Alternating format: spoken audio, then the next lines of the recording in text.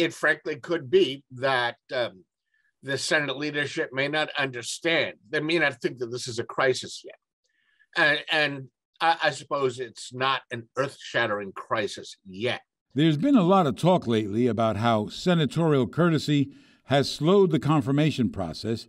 Okay, brought to a stop the confirmation process for state Supreme Court justices. This is, you may recognize, not particularly new.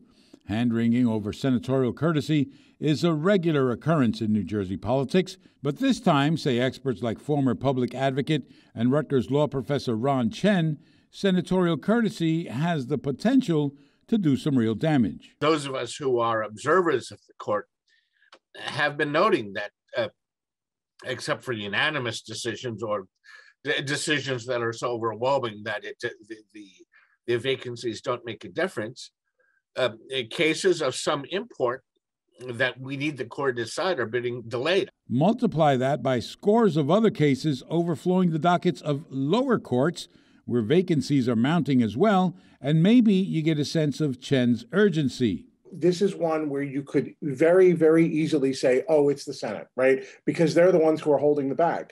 But it's actually a two way street, right? So it's got to be a priority on the part of the Senate to confirm, and it's got to be a priority on the part of the administration to confirm. And if there are obstacles, then the administration has to remove them one by one. And it's blocking and it's tackling and it's hard work. But let me tell you, the quality of some of these uh, uh, candidates is phenomenal if they could just get out there and make the case for themselves. For example, Rachel Wainer Apter. Apter's nomination is being held up by senatorial courtesy exercised by Senator Holly Schepisi, and Matt Platkin is still only an acting attorney general because his confirmation is being held up by senatorial courtesy exercised by Senator Dick Codey. Neither was available to talk to us today.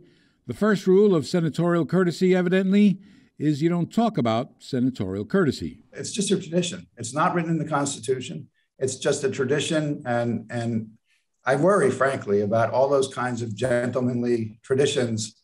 Um, you know, if they're not written down, there's no reason they, they have to be honored. But other than the fact that it's served the state so well over the years. But in our increasingly polarized democracy, it can be tempting for ideologues fighting culture wars across the country to pick a fight in New Jersey where slowing or stopping judicial appointments, including lower courts in the state, can so easily be accomplished. We have this tradition of partisan balance, which I think has really uh, kept our courts above the political fray.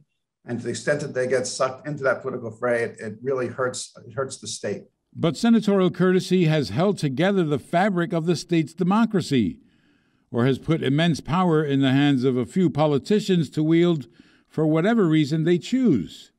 Whichever side you believe, senatorial courtesy appears to be here to stay so long as both parties agree to wield it equally.